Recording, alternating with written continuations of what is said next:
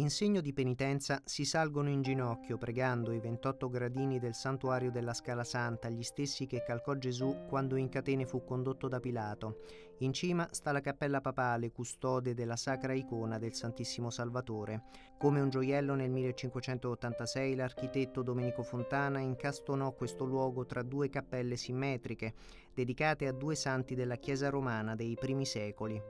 A San Lorenzo fu intitolata quella affrescata da Cesare Nebbia e dalla sua squadra di lavoranti e capomastri, Oggi i suoi colori sono tornati allo splendore originario grazie ad un restauro ultimato recentemente che ha visto i musei vaticani impegnati in prima linea come organo competente per la direzione scientifica dei lavori, dissesti di alcune porzioni della superficie affrescata, distacchi della pellicola pittorica, strati aggiuntivi da rimuovere dovuti a ridipinture e antichi restauri, tante le indagini e le ricerche preliminari da compiere prima di intervenire direttamente sul colore. Con noi Arnold Nesserlat, delegato per l'area tecnico-scientifica dei Musei Vaticani. Qui eh, c'era molta necessità di fare la conversione del bianco per avere di nuovo la gamma dei colori originali e questo con l'aiuto anche del nostro laboratorio di scienze, di, di chimica,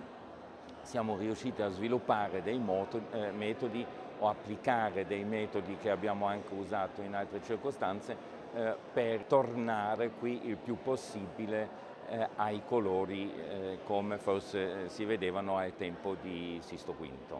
Un intervento complesso quello compiuto sugli affreschi della cappella di San Lorenzo. Alla tecnologia laser sono stati affiancati i metodi più tradizionali. Lo studio minuzioso delle superfici ha mostrato ai ricercatori l'antica impronta dei cartoni preparatori delle diverse sezioni di cui si compone questo ciclo pittorico, rivelando così la scansione temporale dei lavori sotto la direzione di Cesare Nebbia e di Giovanni Guerra. Una mole di dati preziosi, come ci spiega Paolo Violini, responsabile del cantiere di restauro, per comprendere appieno l'ideazione e la costruzione dell'intero santuario, voluto da Papa Sisto V appena salito al soglio pontificio.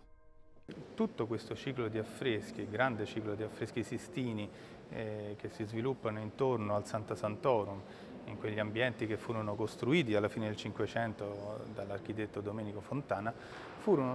qua, eh, sono stati oggetto di un'indagine preliminare, di una campagna di indagini preliminari che ha compreso documentazioni fotografiche a luce ultraviolette, a luce normale, a luce radente, infrarosso, eh, analisi, prelievi e sezioni di colore per analizzare problematiche specifiche. Quindi tutto questo grande eh, database di materiale preliminare ha fornito la, base iniziale da cui siamo partiti